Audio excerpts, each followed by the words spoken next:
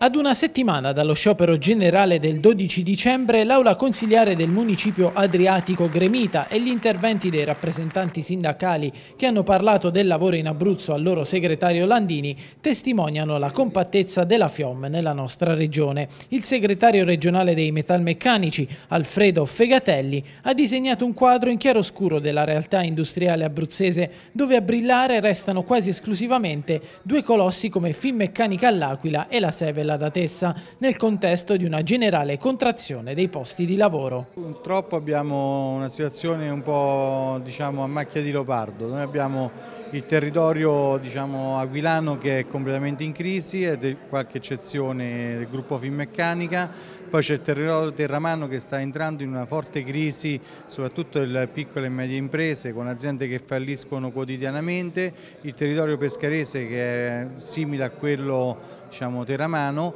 e poi invece abbiamo una situazione un po' particolare per quanto riguarda il territorio del Chiedino dove c'è la più grossa fabbrica sicuramente di auto d'Italia che è in funzione, che dà volano per tutto quanto quel territorio. Manca una settimana alla manifestazione del 12, eh, da questo attivo regionale cosa uscirà?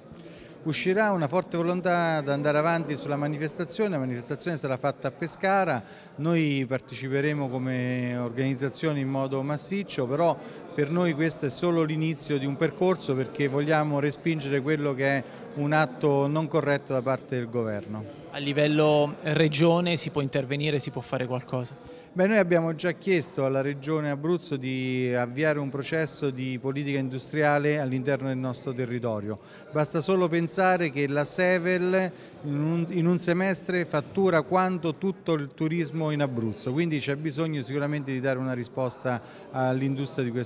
di questo territorio.